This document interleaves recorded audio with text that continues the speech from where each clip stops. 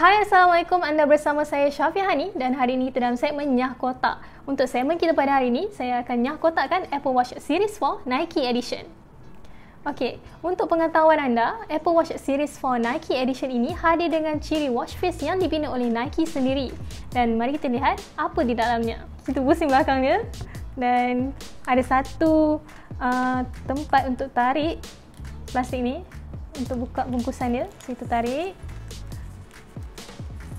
Okey, kalau kita lihat daripada luar kotak ni, kita akan nampak satu logo daripada Apple Watch dan uh, satu logo lagi daripada Nike. Okey, kita buka. Uh, kita pusing belakang dia. Okey. Yang saya pegang ni adalah Series 4 uh, berwarna space grey dan 44 mm. Okey, kita buka. Okey. Bungkusan ni ada bercorak Apple Watch Series dan dalamnya ada dua kotak berasingan iaitu satu kotak untuk Apple Watch dan satu lagi adalah kotak untuk talinya. Okey, kita ketepikan dulu talinya. Kita buka Apple Watch dulu. Okey, uh, luar kotak Apple Watch ni kita nampak satu satu gambaran uh, untuk Apple Watch Series 4 ini. Okey, kita buka.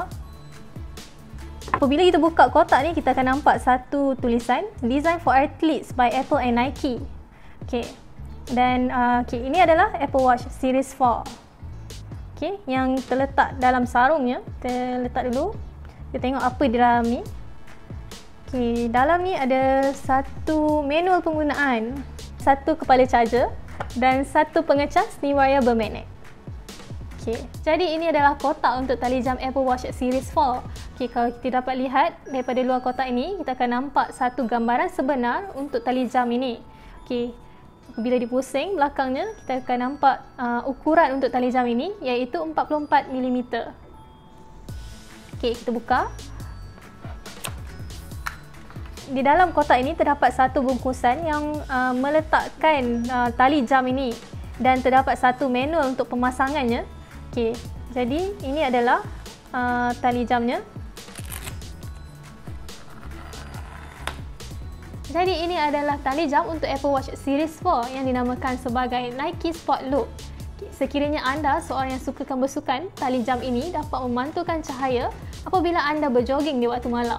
Jadi saya akan sambungkan tali jam ni dengan Apple Watch Series 4.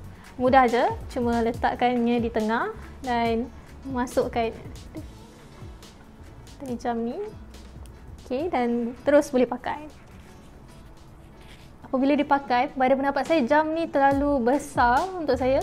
Mungkin sebab pergelangan tangan saya ada kecil. So yang yang sesuai untuk saya mungkin adalah 40mm yang saya pakai ni adalah 44mm seterusnya kita akan lihat pembaharuan yang dibuat oleh Apple mengenai Apple Watch Series 4 ini berbanding Apple Watch Series 3 kalau kita lihat Apple Watch Series 4 kelihatan lebih nipis berbanding Apple Watch Series 3 dan susunan speaker Series 3 yang dahulunya diletakkan selari bersama mikrofon.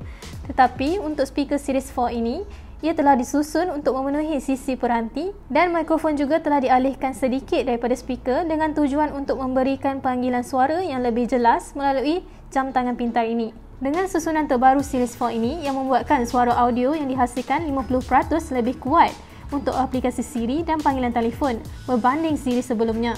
Dengan susunan ini, ia sekaligus mengurangkan efek bergema apabila anda membuat panggilan. Customasi juga boleh dibuat dengan lebih banyak dan ditempatkan secara menyeluruh pada paparan Apple Watch Series 4 ini. Rekaan butang sisinya juga kelihatan agak kemas dan untuk Series 4 ini, Apple sudah meletakkan haptic feedback pada digital crown-nya yang mana ia dapat memberikan kesan getaran kepadanya apabila pengguna memutarkannya. Seterusnya adalah ciri yang paling terbaru yang terdapat pada Series 4 iaitu ECG sensor yang mana sensor ini boleh mengesan degupan jantung melalui kulit anda sekaligus membolehkannya untuk memantau dan menilai sebarang penyakit berkaitan jantung. Bersama ciri ini juga, sistem pengesan jatuh fall detection telah diperkenalkan pada Apple Watch Series 4 bagi memberikan bantuan kecemasan automatik apabila pemakai terjatuh. Apabila mengesan pengguna terjatuh, skrin akan memaparkan tiga pilihan iaitu I fell but I'm okay, I did not fall atau emergency SOS. Jika ia tidak mengesan pergerakan selama 1 minit, ia akan memberikan masa 15 saat sebelum sistem SOS menghantar mesej kepada orang yang diletakkan di dalam senarai nombor kecemasan yang dimasukkan ke dalam aplikasi Health Apps iOS. Namun buat masa ini, ciri ini hanya terhad untuk pengguna Amerika Syarikat sahaja untuk permulaan dan dijangka akan diperluaskan secara menyeluruh kelak. Dan akhir sekali, walaupun Apple Watch series ini hadir dengan pelbagai saiz paparan, tali yang disertakan bersama jam tangan pintar series sebelumnya masih boleh diguna pakai. Jadi, sekiranya anda berminat untuk mendapatkan Apple Watch Series 4 Nike Edition ini ataupun series biasa, anda boleh mendapatkannya di laman rasmi Apple ataupun pengedar rasmi mereka pada harga bermula RM1,749 untuk 40mm ataupun RM1,899 untuk 44mm. Jadi itu sahaja bersama saya Syafiani. Kita jumpa lagi untuk video seterusnya.